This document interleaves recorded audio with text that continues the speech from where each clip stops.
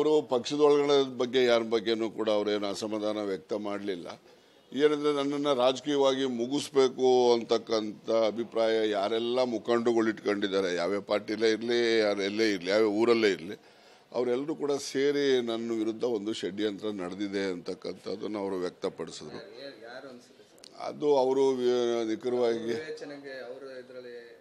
ಅವರು ಅದ್ರ ಬಗ್ಗೆ ಏನು ನಿಖರವಾಗಿ ಹೇಳಲಿಲ್ಲ. ಯಾಕೆಂದರೆ ಎಸ್ ಐ ಟಿ ತನಿಖೆಯಲ್ಲಿದೆ ಇನ್ನೊಂದು ವಾರದ ಒಳಗಡೆ ಎಲ್ಲ ಡೀಟೇಲ್ ಗೊತ್ತಾಗ್ತದೆ ಅಂತ ಹೇಳಿ ತಿಳಿಸಿದ್ದಾರೆ. ನೋಡೋಣ ಏನಾಗ್ತದೆ ನೋಡಿ.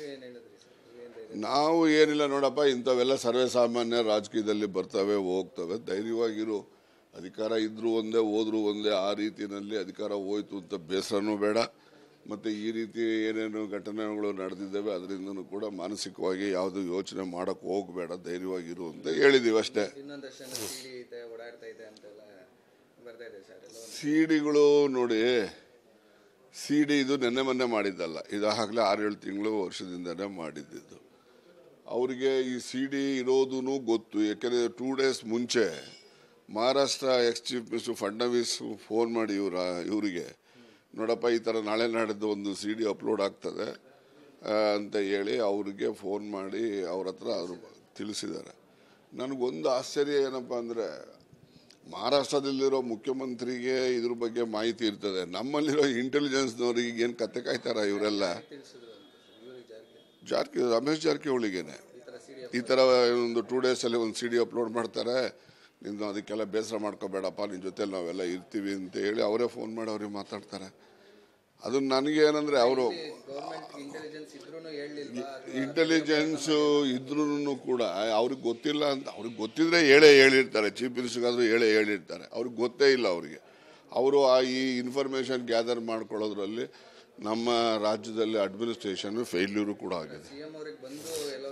ಇಲ್ಲ ಇಲ್ಲ. ಬಂದಿದ್ರೆ ಹೇಳೇ ಹೇಳ್ತಾರೆ. ಚೀಫ್ ಮಿನಿಸ್ಟರ್ ನೋಡ್ರಿ ಅವರು ಚೀಫ್ ಮಿನಿಸ್ಟರ್ ರಮೇಶ್ ಜಾರಕಿಹೊಳಿ ಪರ. ಅದರಲ್ಲೇನು ಎರಡನೇ ಮಾತೇ ಇಡಬೇಕಾಗಿಲ್ಲ. ಯಾಕೆಂದರೆ ಅವರೆಲ್ಲರೂ ಪ್ರಯತ್ನದಿಂದಲೇ ತಾನೇ ಚೀಫ್ ಮಿನಿಸ್ಟರ್ ಆಗಿರೋದು. ಅದರಿಂದ ಯಾವುದೇ ಕಾರಣಕ್ಕೆ ಯಡಿಯೂರಪ್ಪನವರು ರಮೇಶ್ ಜಾರಕಿಹೊಳಿಗೆ ಬಿಟ್ರೆ ಮಾಡ್ತಾರೆ ಅಂತ ಯಾರನ್ನ ಅನ್ಕೊಂಡಿದ್ರೆ ಅದು ಸುಳ್ಳು ತಪ್ಪು.